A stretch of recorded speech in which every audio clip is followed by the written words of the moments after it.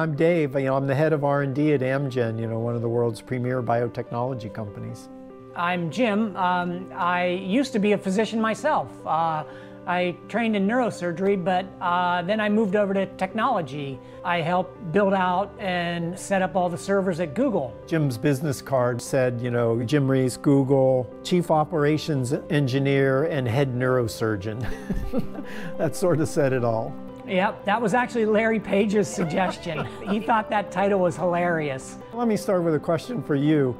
You know, you were a physician, you were trained as a neurosurgeon, which by the way, I advised you not to do after I had advised you not to go to medical school. That is true. Thinking that computer science was your thing. And then you, you worked in various technology related endeavors before finally landing uh, at Google. And what I'm interested in hearing is, you know, what really excites you? I made the transition from medicine to technology a little bit early.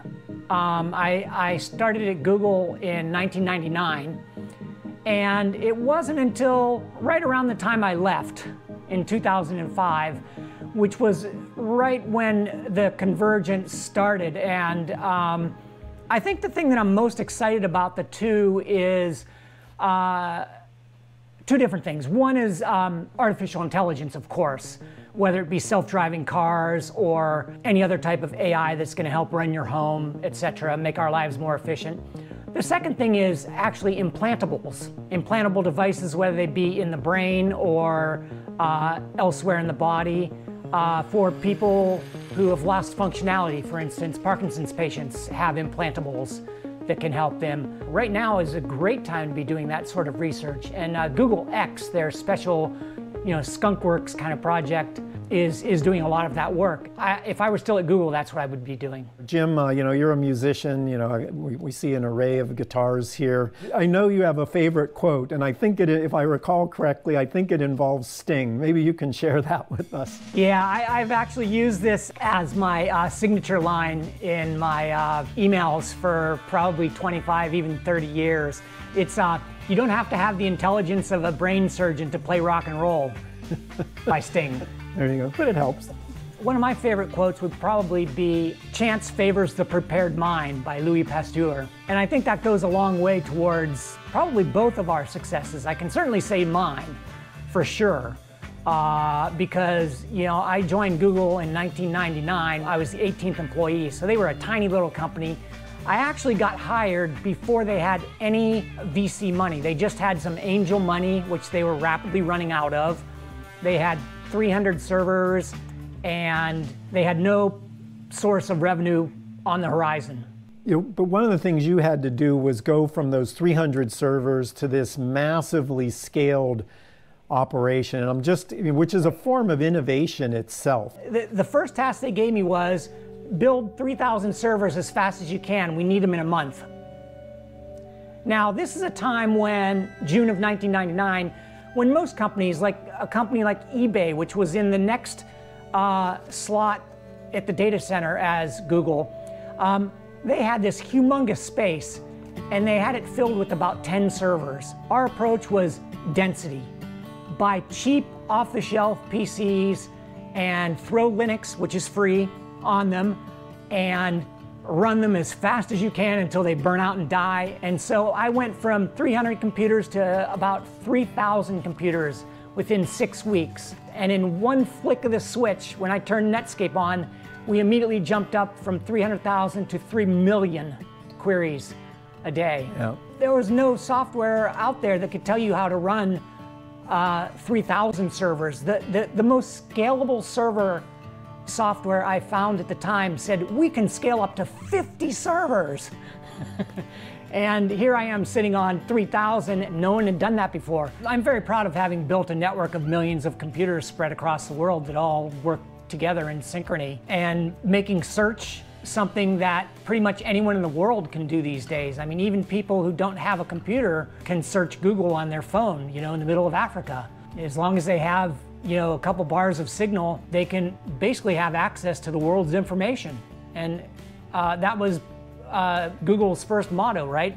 To make the world's information accessible to all. Well, let me ask you this who, living or dead, would you most like to have dinner with? Good question. Um, so, I think Charles Dickens, Mark Twain, and Richard Feynman. And if for some reason they had prior engagements, I would probably revert to Archimedes, Da Vinci, and Sir Isaac Newton. Now you can see how Jim's mind works because I told him to pick one and he's, he's already given us half a dozen. Well, I mean, Charles Dickens, I think, is one of the greatest authors of all time. His imagination was amazing. But, but more than that, um, he captured humanity. I mean, if you read his books, if you read all of his books, you basically run the gamut of what it is to be a human. All the human emotions are in there, from the most profane to the most profound. Mark Twain, I would just love to talk with him and hear his wit. I mean, there's no question about that. Not only his imagination and, and the fact that he wrote great books as well, um, and he seemed to be ahead of his time as, as far as, as politics and uh, racial equality and, and other things like that. Um, and then Richard Feynman, the Nobel Prize winning uh, physicist. Fantastic. All right, well, that's quite a collection for a dinner party. yes, yeah, well, I have a big table. Let me ask you one. Out of the jar comes. okay, who at their respective primes was the better runner? Just kidding. You were obviously the better athlete, except for maybe ping pong. Yeah. You read Origin of Species at the age of 14. What in the world made you pick that up? I don't know what made me pick that up. It probably, it, was probably actually an, you know, an instance of serendipity because I read everything I could get my hands on and kind of worked my way through the entire township library. You know, got a special dispensation when I was younger to go into the adult section under some supervision, uh, which of course I always tried to skirt uh, wondering what, what, what, you know, what gems were hidden in the adult section. But uh, it was just one of those eye-opening moments, which to me, it struck me as fundamentally true. You know, this is how nature has operated. This is how it's worked. I got to be part of this. Somehow, I've got to be part of this. Well, I didn't read it until high school.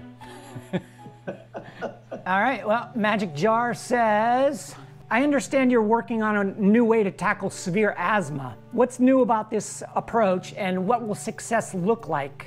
Yeah, you know, we're developing a, you know, a new drug that's designed to target one of the upstream initiators of the inflammatory cascade that really is the basis of asthma. Asthma, as you well know, uh, is a disease of inflammation, inflammation in the airways that narrows those airways so that air doesn't get in and out.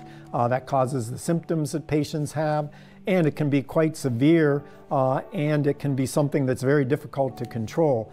It's a disease of increasing prevalence around the globe, uh, driven by urbanization, urban pollution, uh, and a variety of other factors. So it's an enormous 21st century health problem. How do you stay positive when science demands that you go down pathways where frankly, the chance of success is pretty slim. It's about 8% of the drugs that go into clinical testing actually make it across the finish line and are marketed and available to patients. That means you fail 92% of the time. So you have to have the ability to withstand failure and you have to have the ability to really embrace delayed gratification because the time from that idea in the laboratory to a drug making it across the finish line is often a decade, 12, 14 years. It's almost a miracle that the biology and the molecular engineering and the clinical development all come together and show that you can really help patients in a new way. And the moment that you understand that's going to be the case, when you look at a clinical trial result, for example, that moment makes up for all the failures. One thing you've done a little later, you know, is help establish and advise one of Harvard Medical School's uh, departments. What's that been like, and does that actually feed back into your own thinking, uh, you know, for some of your own work? It all started with uh, when Larry Summers, the economist, was president of Harvard back in the early 2000s. So he wanted to gather together a disparate group of people from different disciplines. He told me he thought I would be a great pick because I had I was cross-disciplinary myself, having done technology at Google and and being trained as a neurosurgeon. He had this grand vision of the way the world's future problems are going to be solved is not by some lone chemist in his lab. It's going to be by an interdisciplinary team in multiple labs collaborating together and sharing their data and trying to uh, solve, you know, some very complex problem from multiple perspectives. And I think that that is probably the future of, of medicine is in that collaboration. Yep, absolutely. In my line of work, of course. It, doesn't take a village to get a new drug across the finish line. It takes an army, uh, you know, in a highly disciplined, specialized army with many different units. Uh, and, you know, and if I do anything, it's to try, it's trying to organize those units, make sure they have the resources they need, right? A little bit of confidence uh, when they need it, uh, and then uh, you know an enormous amount of patience uh, uh, and the, you know, the sort of humility to get out of the way of incredibly smart people and let them do what they're good at. Right. So, you know, speaking of other great minds, what do you think you've learned from me? Oh, well, uh, you were certainly my first mentor. That's no, no question about it. I mean, I, I think probably all little brothers look up to their big brother. I certainly did. You were a great athlete and you were a superb student, and I mean, you know, you taught me the value of reading, but also, um, you know, you took the time to show me things and teach me things. I mean, you were incredibly patient with me, you know. I'm, I'm sure I was a pain in the butt in, in, in retrospect. You know, when I was four years old, uh, asking you to throw the baseball with me, and, you know, you were seven and a half or whatever, and, you know, and I could barely catch the ball. And you, you, but you spent hours with me, you know, throwing the baseball or throwing the football or hit, batting the ball to me. Um, and then the other thing is uh, your tenacity.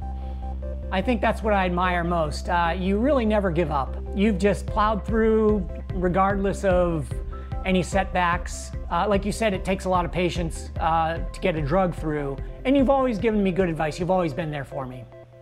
Great. Thanks, Jim. That, that's just uh, fantastic.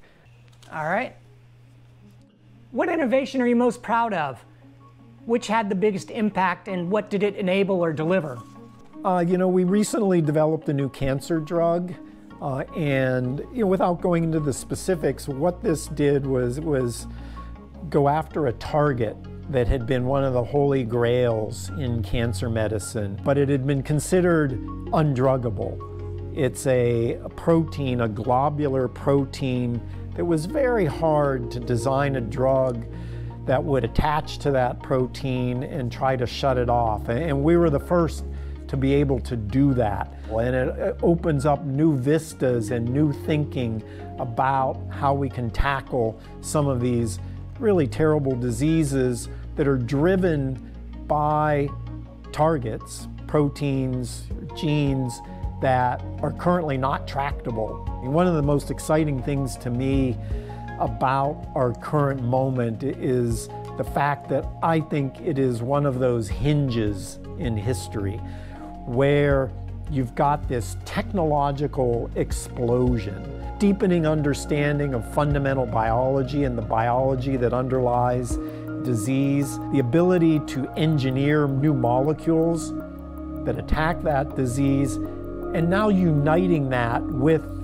your world, tech, artificial intelligence, machine learning, big data, you know, all of the buzzwords are actually now coming to life. And it's that union, that union which is going to propel, I think, a new era in tackling disease. What motivates you to take on the development of tough diseases with novel treatment approaches where others, frankly, might just give up? Is it a personal mission? Do you have some maybe uh, special attraction to this risk reward? In part, it's personal. I, am trained as a, a, medical oncologist, as you know, you know, a cancer physician.